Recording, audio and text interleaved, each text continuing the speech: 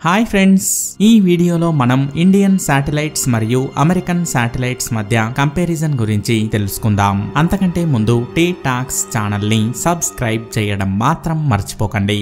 Number one introduction స్పేస్లో ఒక ప్రత్యేకమైనటువంటి కక్షలో తిరిగేటువంటి వాటినే శాటిలైట్స్ అని అంటారు ఈ శాటిలైట్స్ అనేవి మనిషి తయారు చేసినవే ఈ శాటిలైట్స్ని ఒక ప్రత్యేకమైనటువంటి కారణంతో స్పేస్లోకి ప్రవేశపెడతారు ఇవి అక్కడే ఒక ప్రత్యేకమైనటువంటి కక్షలో తిరుగుతూ ఉంటాయి ఈ శాటిలైట్స్ యొక్క ఆకారం అనేది శాస్త్రజ్ఞులు ఎలా అయినా తయారు చేయవచ్చు ఈ శాటిలైట్స్ని తయారు చేయడానికి ఇంజనీర్స్కి ఒక్కొక్కసారి నెలలు పడితే ఒక్కొక్కసారి సంవత్సరాలు కూడా పడుతుంది ఒక శాటిలైట్ రాకెట్ని స్పేస్లోకి ప్రవేశపెట్టే ముందు దానికి ఎన్నో పరీక్షలను చేయాల్సి ఉంటుంది. ఈ ప్రపంచంలో చాలా స్పేస్ రీసెర్చ్ సెంటర్స్ ఉన్నాయి. వీటిలో అమెరికాలో ఉన్నటువంటిదే నాసా. నాసా అంటే national aeronautics and space administration. అలాగే ఔరా. ఔరా అనగా the association of universities for research in astronomy. ఇక ఇండియాకి సంబంధించినది ఇస్రో. ఇస్రో అనగా Indian space research organisation. Number two.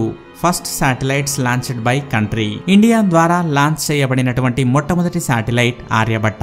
Indian mathematician and astronomer అయినటువంటి ఆర్యభట్ట పేరు మీదుగా ఈ ఉపగ్రహానికి ఆర్యభట్ట అనే పేరు పెట్టారు. ఈ శాటిలైట్ని పూర్తిగా ఇండియాలోనే డిజైన్ చేయడం జరిగింది. ఈ శాటిలైట్ని త్రీ ఎం రాకెట్ ద్వారా పంతొమ్మిది వందల డెబ్బై ఐదవ సంవత్సరం ఏప్రిల్ పంతొమ్మిదవ తేదీన స్పేస్లోకి ప్రవేశపెట్టారు. ఇక అమెరికా విషయానికొస్తే అమెరికా తన మొట్టమొదటి శాటిలైట్ అయిన అనేటువంటి శాటిలైట్ ఎక్స్ప్లోరర్ వన్ని పంతొమ్మిది వందల యాభై ఎనిమిదవ సంవత్సరం జనవరి ముప్పై ఒకటవ తేదీన స్పేస్లోకి ప్రవేశపెట్టింది. దీనిని నాసాలోనే తయారు చేశారు. ఈ శాటిలైట్ నైన్టీన్ సెవెంటీ వరకు పనిచేసింది.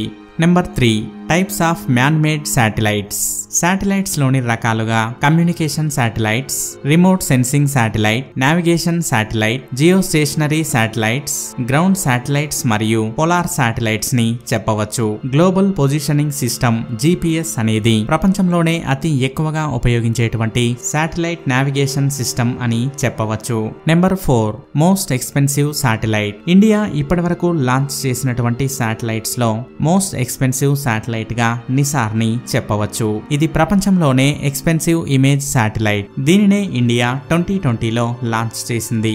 ఈ శాటిలైట్తో ఇండియా ల్యాండ్ స్లైడ్ డిజాస్టర్స్ని ప్రివెంట్ చేస్తూ ఉంటుంది. ఇండియా రెండు వేల ఇరవై ఒకటవ సంవత్సరం ఫిబ్రవరి ఇరవై ఎనిమిది నాటికి మొత్తం మూడు వందల ఇరవై నాలుగు శాటిలైట్స్ని ప్రవేశపెట్టింది. ఇక నాసాకి చెందినటువంటి ఎక్స్పెన్సివ్ శాటిలైట్గా ది స్పేస్ షటిల్ ప్రోగ్రామ్ని చెప్పవచ్చు. దీనిని నాసా మరియు యుఎస్ఏ ఎయిర్ ఫోర్స్ కలిసి డెవలప్ చేశాయి. దీని యొక్క వ్యయం fourteen sixty three thousand crores nineteen seventy వన్లో దీనిని ప్రవేశపెట్టారు. రెండు వేల ఇరవై ఒకటవ సంవత్సరం జనవరి నాటికి నాసా మూడు వందల పదమూడు స్పేస్ మిషన్స్ని ప్రవేశపెట్టింది.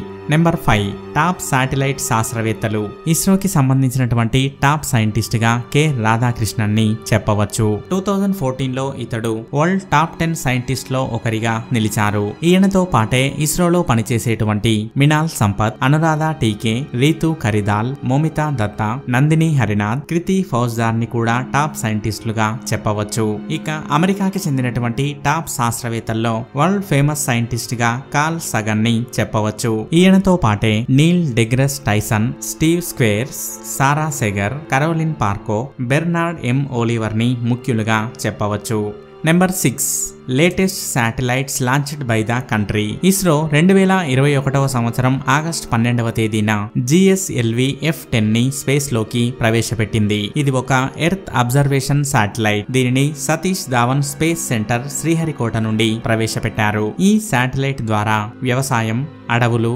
water bodies disaster warning thunder storm monitoring లాంటివి చేయవచ్చు. ఇక నాసా విషయానికి వచ్చినట్లయితే నాసా రెండు వేల ఇరవై ఒకటవ సంవత్సరం సెప్టెంబర్ ఇరవై ఏడవ తేదీన ల్యాండ్ సాట్ నైన్ శాటిలైట్ని ప్రవేశపెట్టింది. ఇది ఎర్త్ యొక్క ల్యాండ్ని పరిశీలిస్తూ ఉంటుంది. చూసారుగా ఫ్రెండ్స్ ఈ వీడియో గనక మీకు నచ్చినట్లయితే లైక్ చేయండి షేర్ చేయండి. ఇలాంటి మరికొన్ని ఇన్ఫర్మేటివ్ టాపిక్స్ గురించి తెలుసుకోవాలనుకున్నట్లయితే టీ టాక్స్ ఛానల్ని సబ్స్క్రైబ్ చేయడం మాత్రం మర్చిపోకండి. Thank you for watching.